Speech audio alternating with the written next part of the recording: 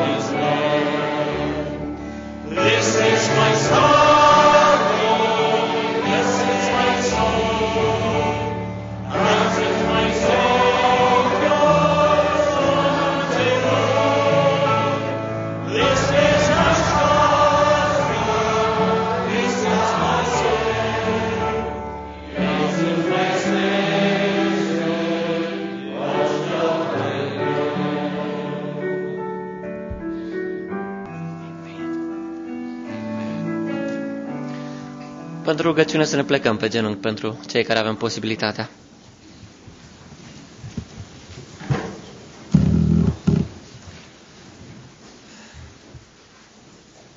Tată bun care ești în ceruri, am venit înaintea ta în această după amiază de sabat să-ți mulțumim pentru această binecuvântare.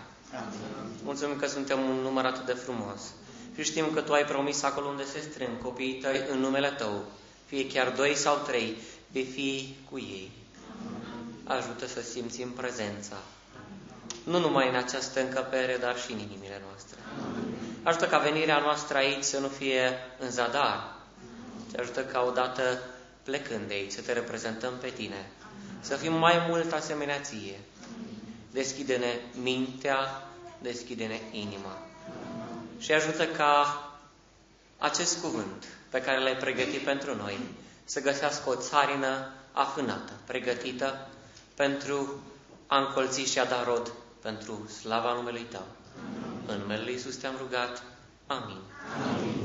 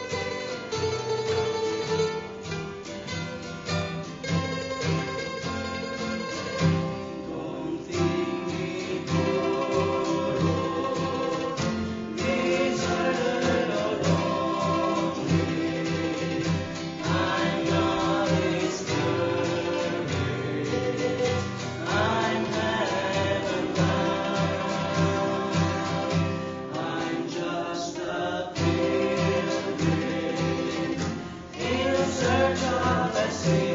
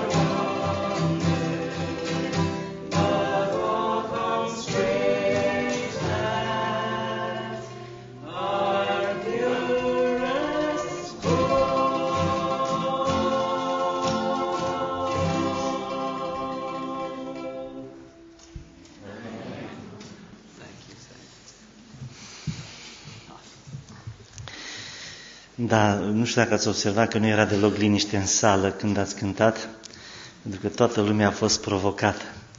Ileana, hai să cântăm și noi cântarea asta, că altfel nu ne revenim. și dacă se poate, păstrează ritmul acestor uh, uh, ștrengari ai cântecului Advent. Așa.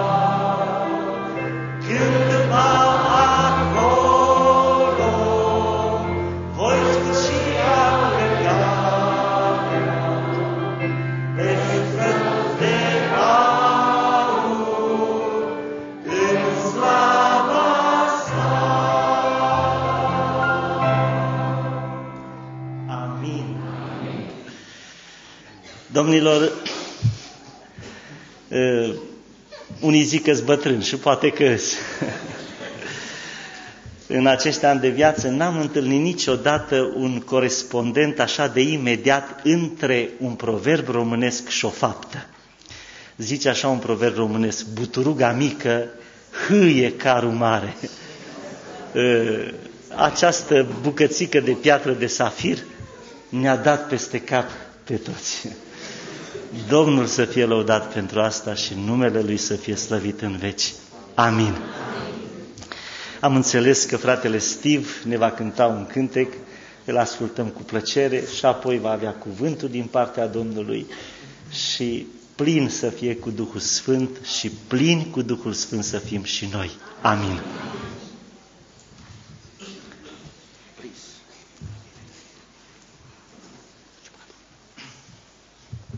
Good evening, my dear friends.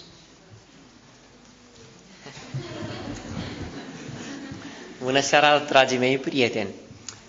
I have been invited to sing a song for you tonight. Am fost invitat să vă cânt un cântec în seara aceasta. Do I have your permission to do Îmi that? permiteți să fac acest lucru? I would like to sing a favorite song of mine for you. Aș dori să împărtășesc cu dumneavoastră un cântec uh, drag mie, preferat. It's my favorite because it was my daddy's favorite. E preferatul meu pentru că a fost preferatul tatălui meu. The name of the song is The Holy City. Cântecul se numește Orașul Sfânt. And I want to sing this in honor of my father's memory. Și aș dori să cânt acest cântec în onoarea și în amintirea tatălui meu.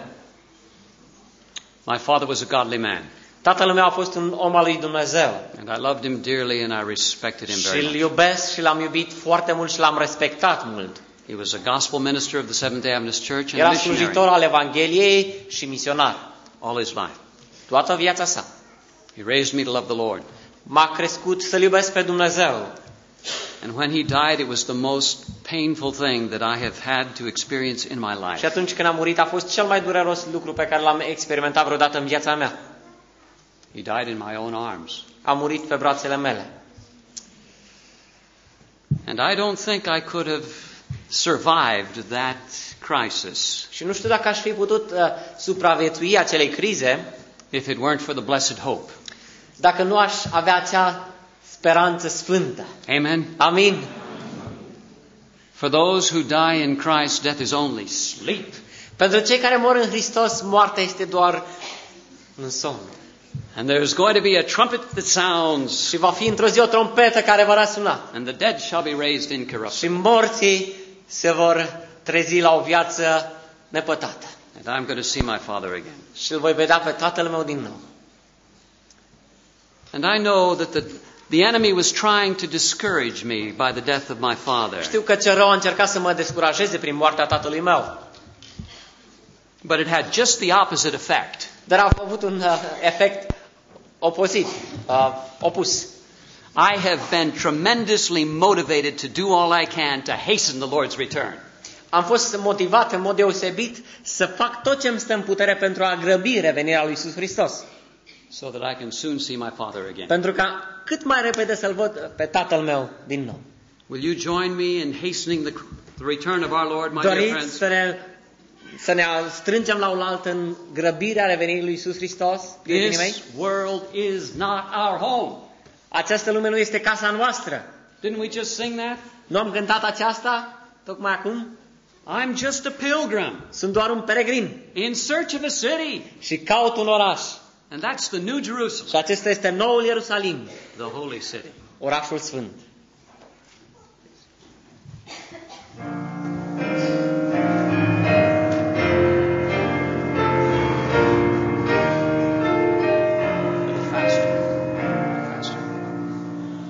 Last night I lay a sleeping, there came a dream so fair.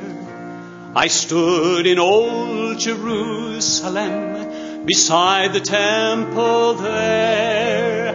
I heard the children singing, and ever as they sang, methought the voice of angels from a heaven in answer rang. Methought the voice of angels from a heaven an answer rang. Jerusalem, Jerusalem, lift up your gates and sing, Hosanna in the highest, Hosanna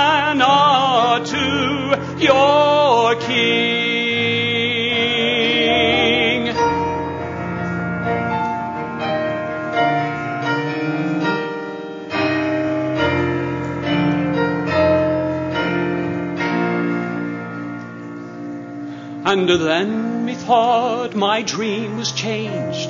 The streets no longer rang.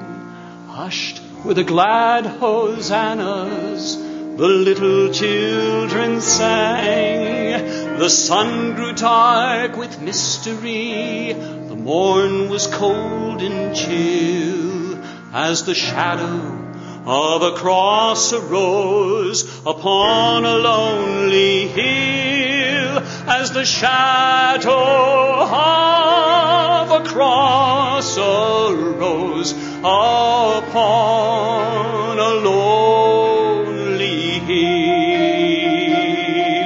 Jerusalem, Jerusalem, hark how the angels sing,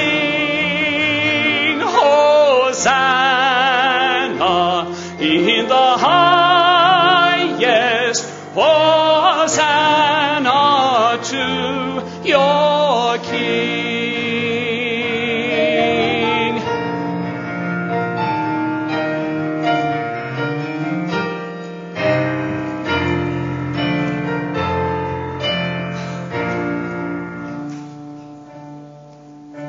And once again, the scene was changed. New earth there seemed to be. I saw the holy city beside the tideless sea. The light of God was on its streets, its gates were open wide, and all who would might enter in, and no one was denied. No need of moon or stars by night, nor sun to shine by day. It was the new Jerusalem that would not pass away.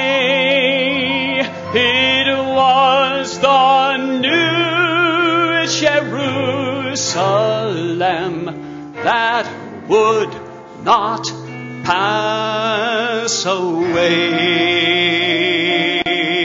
Jerusalem, Jerusalem, sing for your night is o'er. Hosanna in the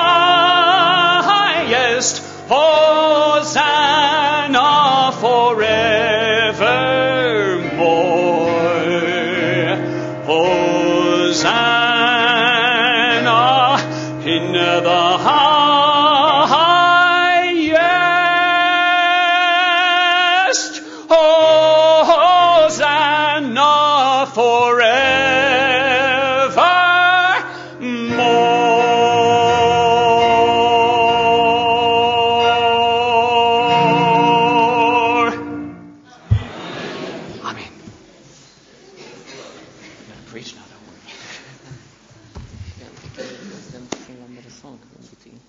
Can I take my coat off? Thank you. Welcome back, my friends. Bine ați venit din nou, prietenii mei.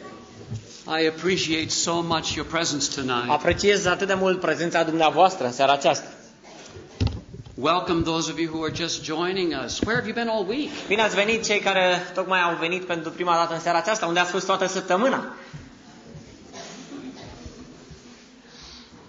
We have been diligently studying this week Noi am studiat aprofundat în această săptămână what it really means to be a ce Christian înseamnă să fii creștin autentic and to share Jesus și Christ. cum poți să-L împărtășești pe Iisus Hristos altora.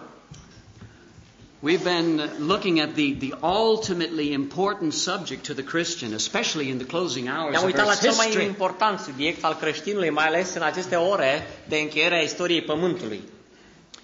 We've come to realize Și am realizat that in order to be a Christian, to, to, to be truly a Christian and to effectively share că Christ, pentru a fi creștin autentic și a-L împărtăși pe alții lui Hri- pe Hristos, we must be Christ-like in character. trebuie să fim mai mult și mai mult asemenea lui Hristos în caracter.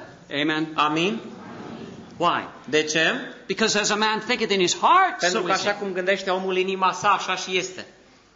What you are, my dear friends, is determined by what goes on up here between the right and the Ceea left ce ești ear. este determinat de ce se întâmplă aici între urechea dreaptă și urechea stângă. To be a Christian involves much more than just talking and acting like one, doesn't it? Să fii creștin implică mai mult decât a te comporta, a vorbi ca un creștin. To be a Christian involves having the mind Să of fii creștin Christ. implică și înseamnă să ai mintea, gândirea care era în Hristos. Learning to think and Să feel like gândești, să Jesus înveți, does. să simți și să gândești așa cum a făcut Isus. And remember, that's our definition for character, isn't Și it? vă aduceți aminte, aceasta a fost definiția noastră pentru caracter, nu vă aduceți For those, aminte? for those of you who haven't been with us, Pentru cei care nu au fost cu noi, it's very important to realize este foarte important să realizăm that character is our thoughts and feelings combined. Caracterul este format din gânduri și sentimente, luate împreună, combinate.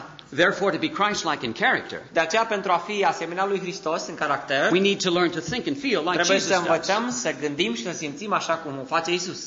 Is that natural? Este natural? Can we even do that naturally? Putem face aceasta în mod natural? No. Nu. Naturally, we think and feel like who does? În mod natural gândim și simțim ca cine? Ca Like Satan does. satana. Yes. Da. You see, we are naturally governed by the same spirit that În governs mod the heart natural of Satan. suntem guvernați de același spirit care guvernează și inima celui rău. It's called selfishness. Se numește egoism. But please remember Dar vă rog să vă aduceți aminte, that even a selfish heart chiar și o inimă egoistă can put on a very good show, can't it? poate să arate frumos pe din afară, nu-i așa?